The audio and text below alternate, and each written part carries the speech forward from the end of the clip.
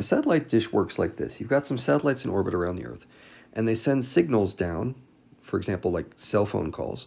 They send signals down, and those signals come in like this, like very straight lines, like so, and they're coming down, from outer space. And when they hit this satellite dish, the curvature of the dish is going to bounce these things. So they all bounce towards that receiver right there. That's what makes a parabolic dish kind of useful. And then the receiver, then on this tiny little chip, receives signal from a very wide area. And the bigger your satellite dish, the more signal it can focus on the receiver. That's the basic idea. Now, the question in this problem is where should the receiver be placed so that it is at the focus? Okay, that's where a receiver is most useful. It's at the focus of a parabolic dish. So I want to know, essentially, what is the focal length? Okay, remember the focal length P of a parabola? Let's draw, let's make an equation for this. And if you remember, here's the equation of a vertical parabola. That's what we've got here. And I'll explain why it's not a horizontal parabola. Uh, it's not a horizontal parabola because it looks like a vertical one. Okay, it's pointing up. You can imagine a coordinate system here. Let me just draw a quick coordinate system.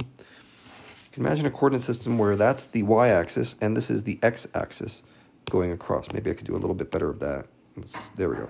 Okay, so see the vertex of this parabola is located at the origin of this coordinate system. And the nice thing about that is I don't need to worry about h and k. The vertex is located at 0, 0. So this equation simplifies to x squared equals 4p times y.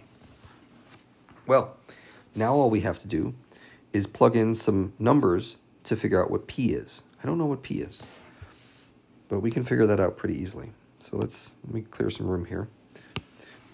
Let's plug in, and no, you know what? I want that x coordinate, y coordinate plane. Let's take this point right here on the edge. Okay, if you think about what is the uh, x location, that's going to be half of this distance right here. That distance is 22 feet wide. Well, then this will be 11 feet to the edge of the dish. And how high is that point? Well, okay, it's 4p. I don't know what p is, but I do know the height of the dish is 9 feet. So then I can say, what is p? Well, that's just going to be 11 squared divided by 9 equals 4p. And, you know, that's going to be something like, I don't know, 121. 121 on top, divided by 4 on each side, that makes this 36. So 121 over 36 is p. Well, where should my focus be located? Focus is a distance of the focal length. That's p. So here we go. This is our answer. p right there. Remember, this distance is p from the vertex to the focal point of a parabola. And that's all there is to this problem.